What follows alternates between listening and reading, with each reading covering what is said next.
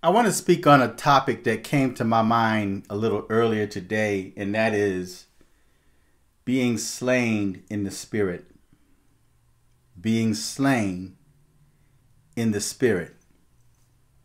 Is being slain in the Spirit biblical? Is it a godly doctrine? You know, when you go to church and people become overwhelmed in the spirit and they fall out to the point where people have to build a circle around them, put sheets around them to keep from them harming themselves or to prevent the clothing of women to expose their nakedness. So to keep women dressed from coming up, they put sheets around them.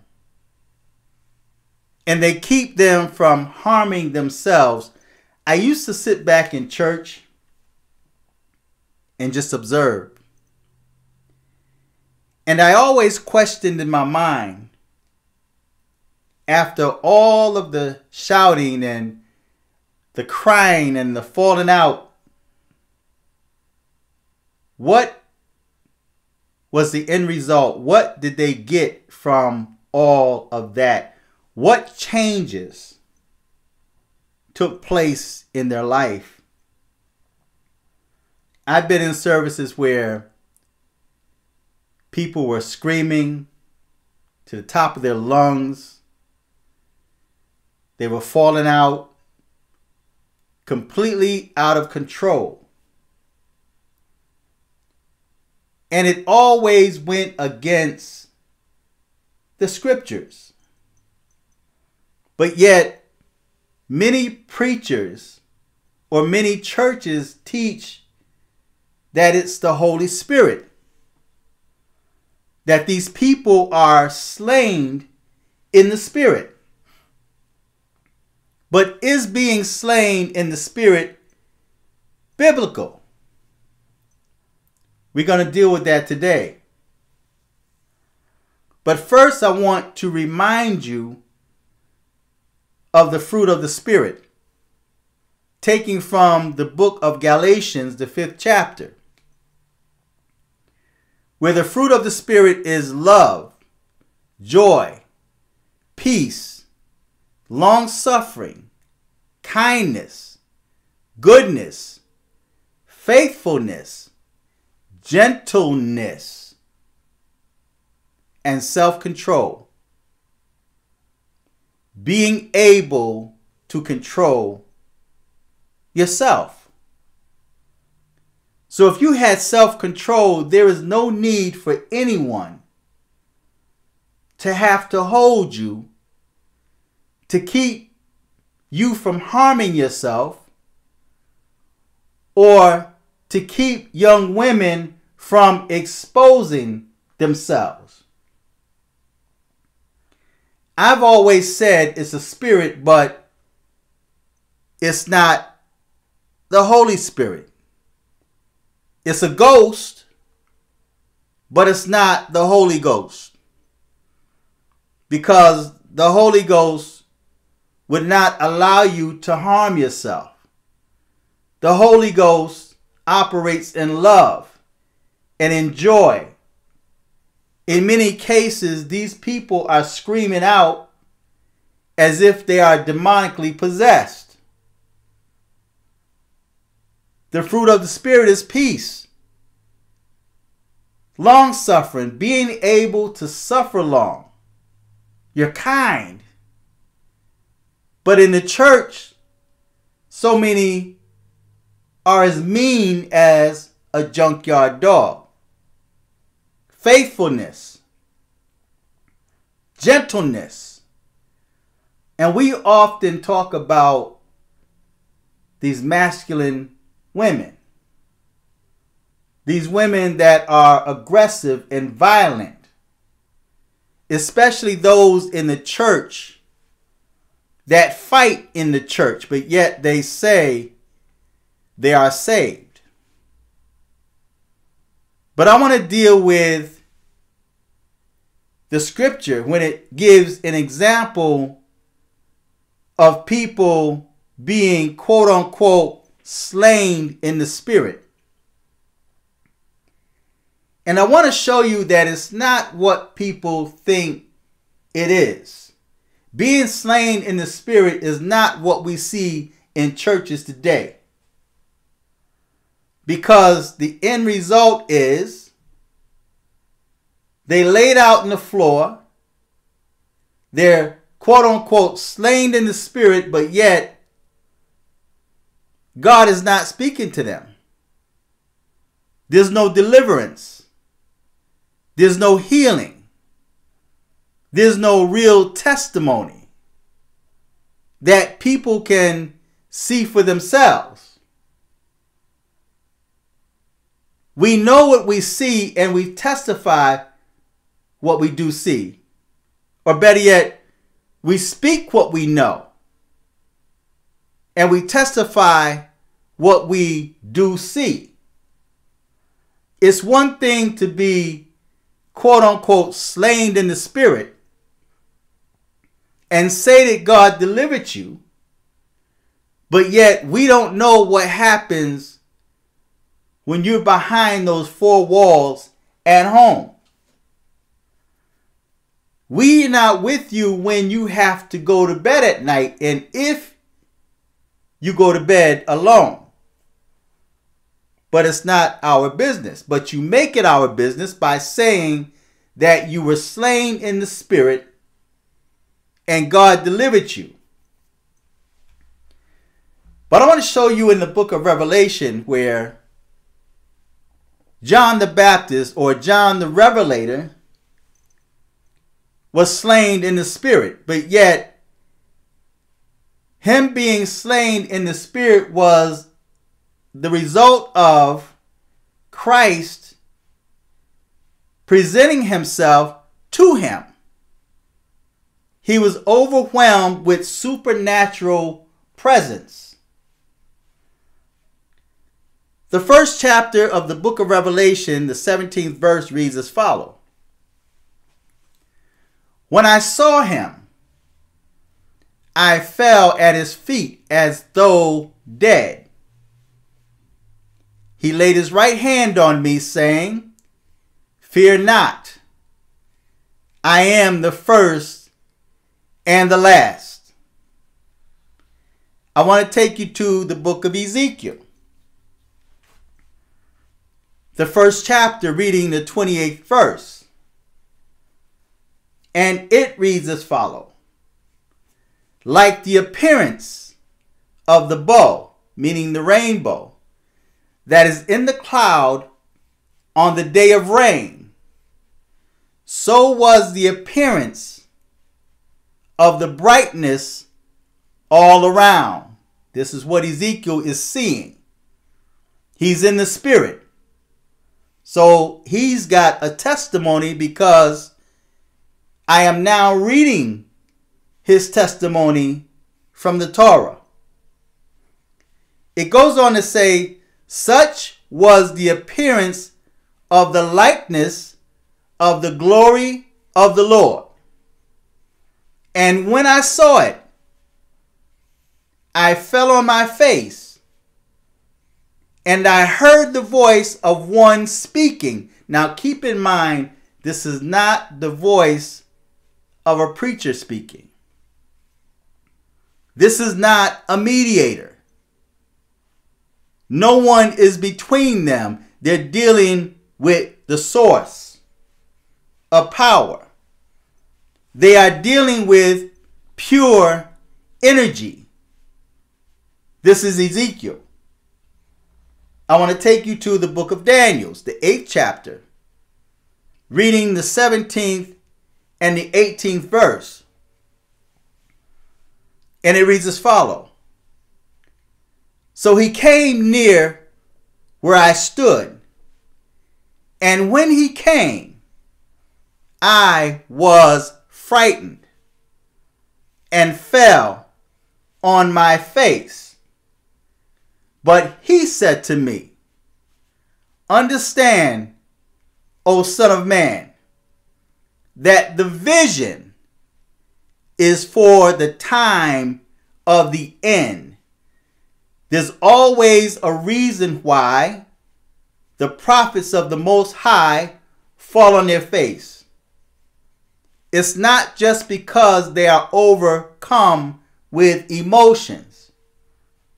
It's not because of the fact that the choir sung well, or that the preacher or the evangelist preached them outside of themselves. Man had nothing to do with these prophets being slain. It says, I was frightened and I fell on my face, but he said to me, Understand, O Son of Man, that the vision is for the time of the end. So he didn't only just fall on his face because he was overwhelmed with emotions, but because of the fact that he was dealing with pure energy and the Most High was revealing the vision of the end time to him. The 18th verse says, And when he had spoken to me, now who is this he? He's not dealing with an evangelist. He's not dealing with a preacher. He's dealing with pure energy, the source of all beings. It says, I fell into a deep sleep with my face to the ground. But he touched me and made me stand up. He was in the presence of pure energy, the presence of God. And when he lost strength because of the greatness of God's presence, God spoke to him and touched him and made him stand on his feet gave him enough strength to stand on his feet. He had self control, the fruit of the Spirit. Now, I want to read another scripture. What I I love this scripture, and um, this scripture has so much in it that oftentimes we tend to not really see the jewels within the scriptures because we get so carried away with emotions and Christianity and and false doctrines that we really can't see the essence of what the word is saying to us. I want to read the book of Matthews, the 17th chapter, starting the first verse, and I'll read down to the eighth verse. And it reads as follow. And after six days, Jesus took with him Peter, James, and John, his brother, and led them up a high mountain by themselves. Now, Yeshua is about to show them something great. Peter, James, and John saw Jesus cast out devils. They seen him feed the hungry. Uh, they seen him heal the sick. The same man that said that he was the Son of God or the Son of Man is now about to see him in his true form, his true essence. It says, the second verse says, and he was transfigured before them. So he took these three men up into a high mountain alone. And when they got into the mountain, Jesus transfigured before them. He changed right before their presence. And the Bible says, and his face shone like the sun, and his clothes became white as light. And behold, there appeared to them Moses and Elijah talking with him. So not only did Yeshua transform and his face shone like the sun and his clothes became white as light, but you had two dead prophets that appeared right before their very eyes. They're actually witnessing these things. So you don't have an evangelist preaching you outside of yourself to the point where he touched you or blow on you and you fall out for no reason. And then when you come to yourself, you have no idea what happened to you. You have no testimony. The only thing you're left with is a good, a, a, a feel good feeling or a good feeling. But it says, Behold, there appeared to them Moses and Elijah, two dead men, talking with him. And Peter said to Jesus, Lord, it is good that we are here. If you wish, I will make three tabernacles here. Peter wanted to make churches like you find people doing today and naming churches after Peter and Paul and Jesus. Lord, it is good that we are here. If you wish, I will make three tents here, or three tabernacles one for you, one for Moses, and one for Elijah. He was still speaking when, behold, a bright cloud overshadowed them and a voice from the cloud said, This is my beloved Son, with whom I am well pleased. Listen to him. Not only did two dead men, two dead prophets appear after Jesus transformed, but now we have it where a cloud, a bright cloud, is overshadowing them. And then an audible voice comes from the cloud and validates Yeshua. This is my beloved Son, with whom I'm well pleased. Hear ye him. And then it says, when the disciples heard this, they fell on their faces and were terrified. They had every reason to lose strength because they were in the presence of pure spiritual energy. You can't get no purer than that. And they fell on their face and they were terrified, but Jesus came and touched them saying, Rise and have no fear. He gave them strength. No one had to wrap clothes around them or wrap them in sheets or hold them to keep them from harming themselves. They were in complete and total control. And they had a testimony. But Jesus came and touched them, saying, Rise and have no fear. And when they lifted up their eyes, they saw no one but Jesus only. So, after all of this greatness they saw, this greatness that was revealed to them, the supernatural, where there was no one in the middle, no middleman, no preacher, no evangelist, no man to preach them happy. Or the choir singing to the point where they lose themselves and fall out and someone have to wrap sheets around them to keep them from harming themselves. None of that happened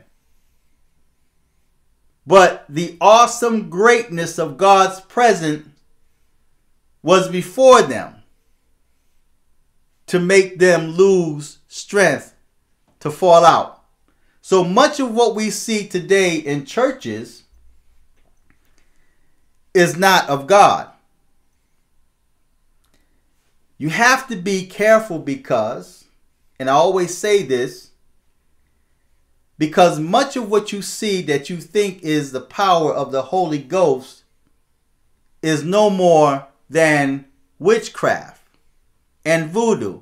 I shared a story before where I was talking to this preacher and he had no idea who I was. I was with a friend of mine which happened to be a Muslim. And he must have thought that I was a Muslim as well. And he was telling us about how he go to Haiti so many times out of the year. And he gets stuff to sprinkle around his church to try to get more members. And he's got the type of ministry that I'm talking about where the preacher blow on someone and they fall out. Or the preacher touch them and they fall out. Or you have these churches where the people have a laughing spirit where they can't stop laughing. A demon. But yet they call that the power of God which God are they referring to? Because that is not the spirit of Yahweh. So you have to be mindful of these churches where you see people are slain in the spirit.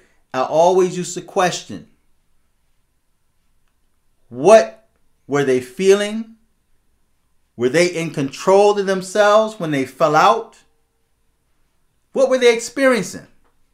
when they were out? Were was God communicating with them? Were they were they receiving a healing or a blessing? And why you never hear these people testify? They fall out sick and they wake up sick. And then the preacher tell them, just go and have faith. I want to read another scripture and this scripture really don't fit the topic, but it does. Because a lot of what we see in church today is all show, performance. It's hoodoo and voodoo magic. Making people think that the preacher or the evangelist is powerful and operating with the spirit of Yah when in reality it's no more than witchcraft. Because Jesus was smooth. He didn't have to do all of the hookah mashanda and the screaming and the coughing and the and, as if he was trying to trying to breathe and and everything he says it's got to be a so pay attention to what or how Jesus handled himself when he cast out these demons. Listen to what he said. He didn't have to use scripted techniques to cast out demons. You know how you go to some churches and you hear, uh, I, I, I, I charge you uh, by the anointing of God that come out of this person. I bind you in the name of the Father, Son, and the Holy Spirit. And they got so many words. And the Bible said that they prayed thinking that they would be heard for their much words. But Jesus didn't speak too many words. And I'm going to show you in this final scripture. That's taken from the book of Matthew, the 8th chapter, reading in the 28th to the 34th verse. And it reads as follows. And when he was come to the other side of the country of the Gergesenes, there met him two possessed with devils, two people, two men possessed with devils, coming out of the tombs. In other words, they were coming out of the graveyard these people hung out in the graveyard. They hung around dead things. So they were coming out of the tombs exceeding fierce. They were out of control, angry. The Bible says, so that no man might pass by that way. The 29th verse says, And behold, they cried out, saying, These are these two demons that's possessing these men. Or better yet, these demons that's possessing these two men were crying out. They were using the lips, the vocal cords of these two men to cry out. So it wasn't the men that was crying out. It was the demons that were possessing them. Because the demons knew exactly who Yeshua was. Because when they saw him, the first thing they said was, what have we to do with thee, Jesus, thou Son of God? Art thou come hither to torment us before the time? The 30th verse says, And there was a good way off from them a herd of many swine feeding. So the devils besought him, saying, If thou cast us out, suffer. In other words, allow us to go away into the herd of swine. The 32nd verse says, And he said unto them, Go. That's all he said. He didn't use no rituals. He wasn't pretending to be uh, what they call exorcist. He just said, Go. He didn't yell. I'm sure he didn't yell because I don't see an exclamation mark. I see a period. But it says, and he said unto them, Go. And it says, and when they were come out, they went into the herd of swine, and behold, the whole herd of swine ran violently. Look at the effects that these spirits had on these pigs, but yet these were the same spirits that was possessing these two men. They ran violently down a steep place into the sea and perished in the waters. And they that kept them fled. In other words, those that were tending to the herd of swine saw what happened and they ran and went their ways into the city and told everything and what was befallen of the possessed with devils. The 34th verse says, And behold, the whole city came out to meet Jesus. And when they saw him, they besought him that he would depart out of their coast. There are people that don't want you delivered. They don't want those that are bound and possessed with demons to be delivered. They want you to be demonically possessed. Because the minute they saw these men that were in their right mind and they were clothed, you would think that they would celebrate and be happy for them. But instead, the Bible says, when they saw him, they besought him, meaning Yeshua, that he would depart out of their coast. In other words, they kicked him out because he came and was delivering folk. These two men that were hanging in the tombs that were violent to the point where people were afraid to pass by. They couldn't tame them. So they were left out there alone to fend for themselves, being possessed and oppressed by demonic spirits. But because Jesus cast them out, because he gave them leave or permission to go into the pigs, and these men were delivered, the whole city came out to meet Jesus. And when they saw Jesus, they begged him that he would depart out of their coast. Leave, get out. We don't want you here. The same thing happened politically recently when we had Trump that was trying to do for America, taxpayers, and the people did the same thing. And I'm not liking uh, Trump to Yeshua. I'm just saying we're living in times where people love wickedness and evil more than they love the truth, more than they love goodness and mirth, mercy and faith and kindness. If this was a video where I'm going to someone's mother's graveyard to urinate on it, or I'm cursing somebody out, oh, I would have a lot of people sharing this video. There would be a lot of people subscribing.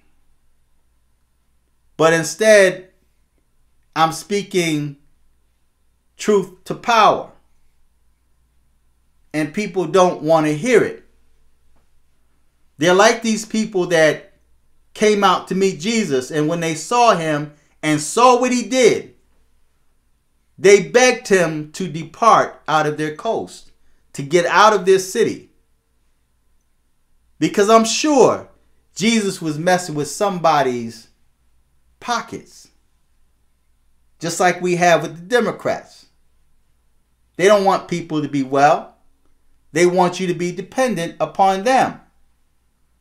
So they're going to make good seem evil. And they're going to make the evil that they do seem good. And if you don't have Christ in your life, if you don't have the discernment of the Spirit of Yah, you will be deceived.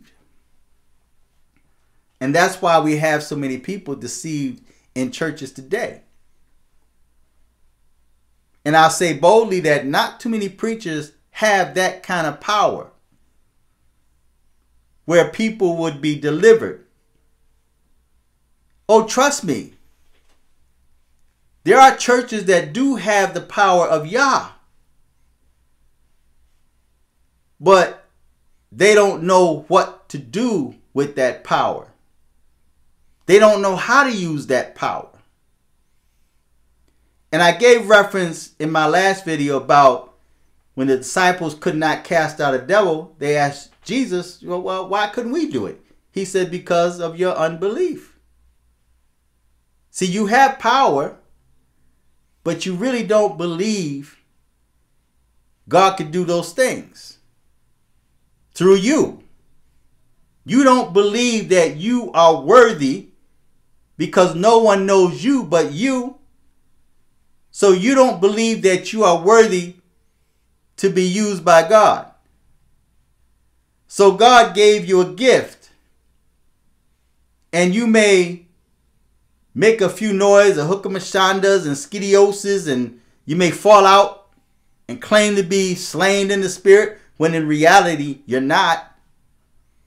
You're just overcome with emotions, or that could just be the results of that pastor or evangelist dabbling into the strange fire.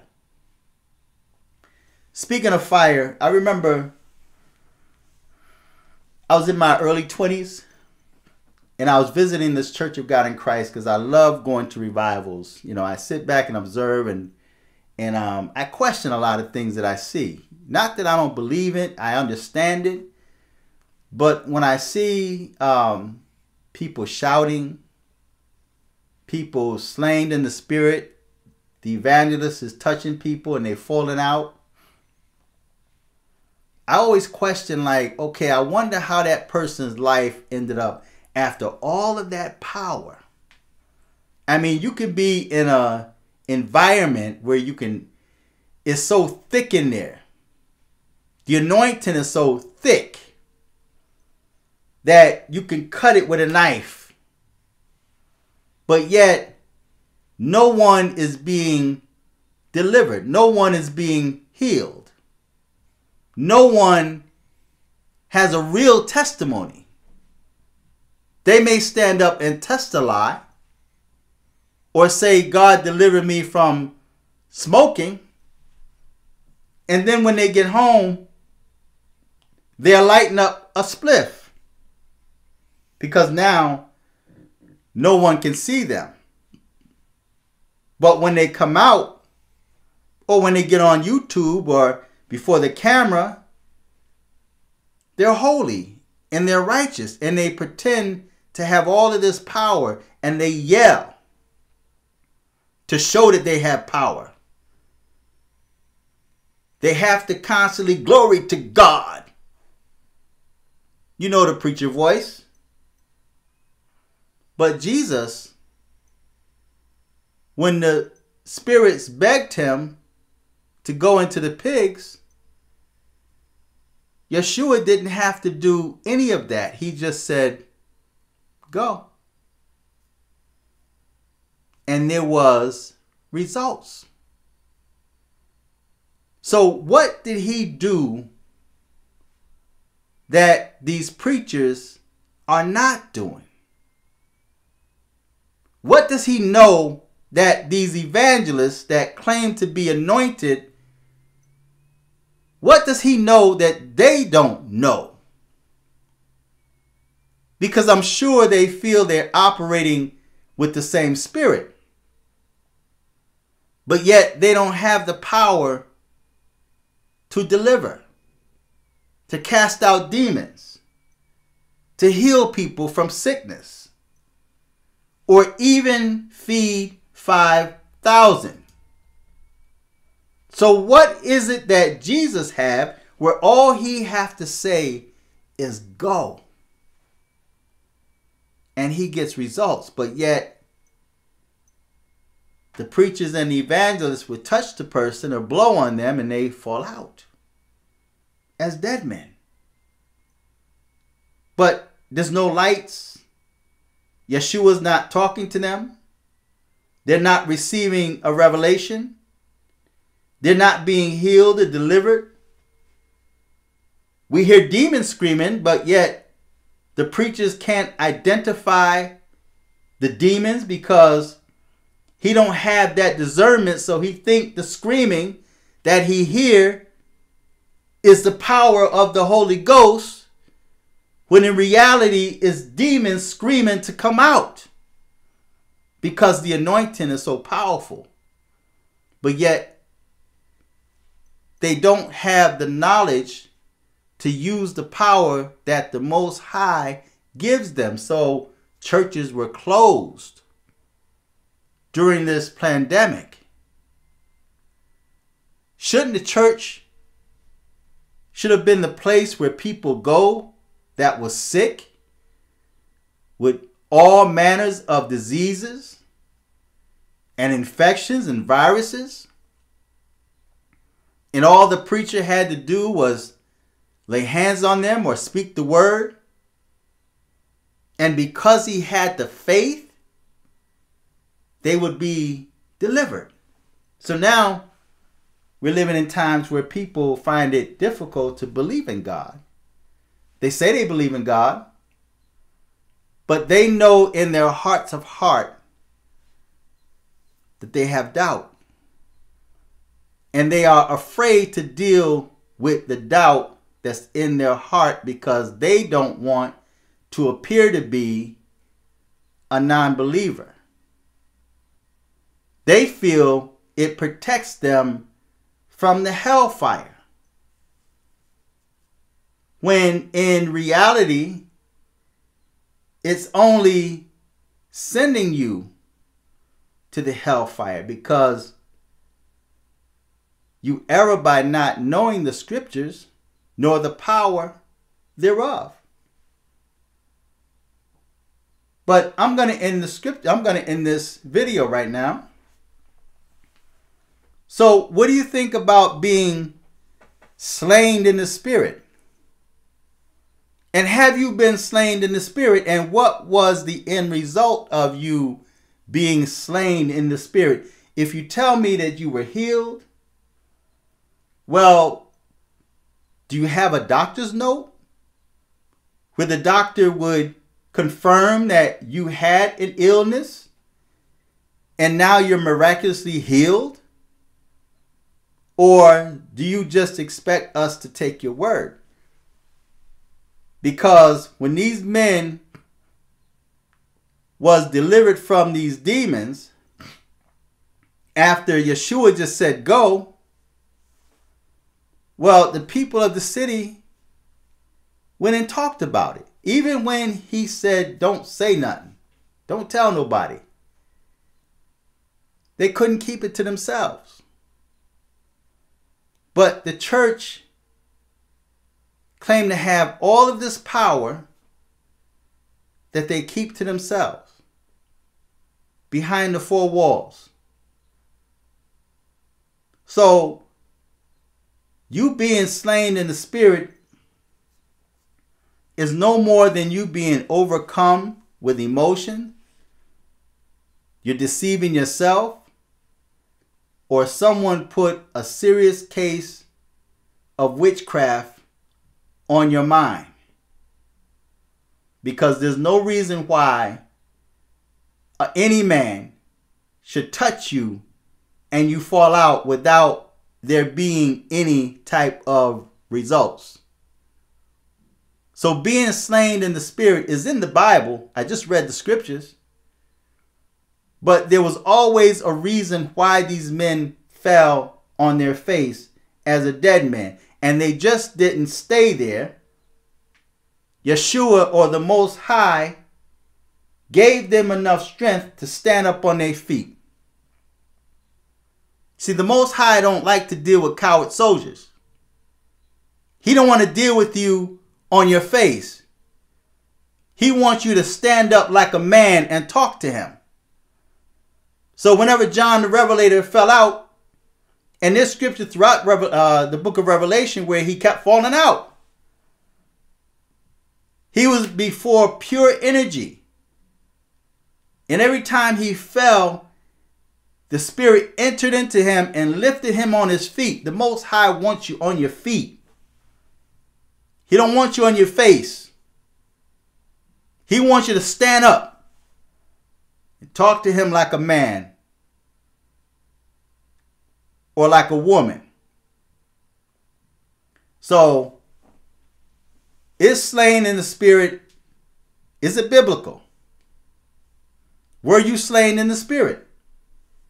And what was the result of you falling out on the floor, being wrapped up in sheets so that you didn't injure yourself?